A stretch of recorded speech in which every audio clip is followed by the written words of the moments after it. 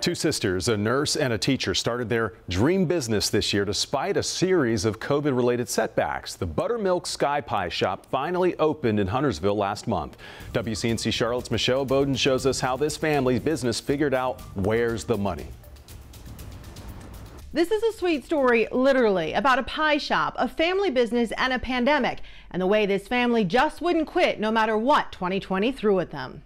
Starting your own business is about as American as apple pie. I think pie has always been the thing. Um, it's very traditional and um, it's something that we relate a lot with memories. Gabby Sillyman and her sister Savannah Lape love pie so much they started saving money as a teacher and a nurse, respectively, with plans of opening the Buttermilk Sky Pie Shop in Huntersville in May 2020. Um, we were nervous, and a lot of people have said, you know, you're so brave to open during a pandemic. It took more than bravery to get past the hurdles the two faced. Unfortunately, our construction had to become come to a complete halt um, in last March, and we didn't begin until the end of August. Uh, which then going in, um, it took us a long time to get permits. The city was backed up. Uh, it, it, definitely was a struggle.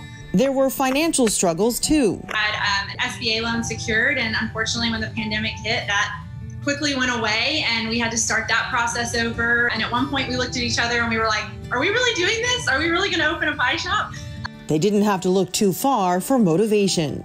Our grandfathers and my dad, our dad, um, all owned small businesses, and it was something that meant a lot to us and something we could do together as a family. Um, and it's you know definitely a family thing. Every all of our family is in here working all the time. The sisters finally opened almost a year later than expected, but Gabby says they opened on what turned out to be the perfect opening day.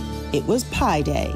This community has shown up for small businesses and they've shown up to support new concepts and uh, new ideas, and it's been really exciting. I mean, we have had lines and lines out the door um, for people coming in to support us and try us. The best-selling pie, maybe not a huge surprise here. They say it is the Granny Apple, and they can't keep it in stock. Reporting in Charlotte, Michelle Bowden, WCNC Charlotte.